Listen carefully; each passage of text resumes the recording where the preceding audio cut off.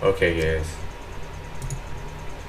This is the speed test with the company called EVDO Depot US. My name is Chris Holly and I have this company. Or this internet through them. And this is the speed results that I was getting just a while ago. Let's do another speed test.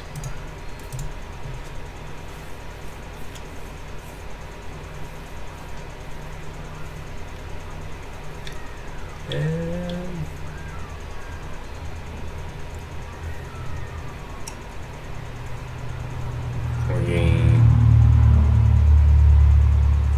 13. Still not too bad. The upload, we're still getting a good.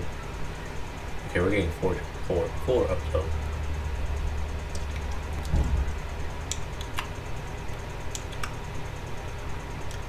So four uploads really good for streaming. 13 sounds pretty decent. Let's do another speed test though.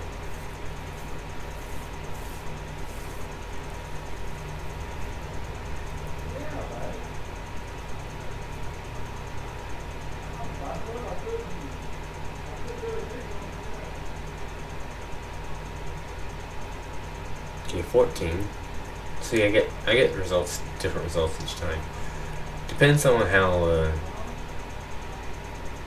network is and stuff. Like right now, I'm getting four uploads again. So pretty good speeds though, very good speeds. Especially living in the area where I live in, in the Royal area, because most of the area that I get is like I could get DSL here, but it's like six max down to like 0.4. You can't even stream 4K on that. So I went with this company.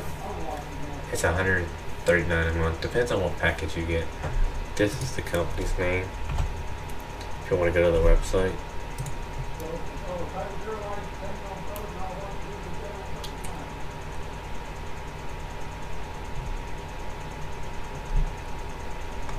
That is their website.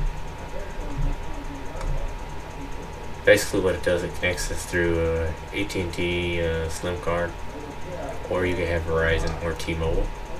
No, not Verizon, but uh, T-Mobile, and I think it's Sprint. Yeah, Verizon's like 600 a month if they wanted to do that. Verizon's expensive contracts. Very expensive. That was the speed test I was getting earlier.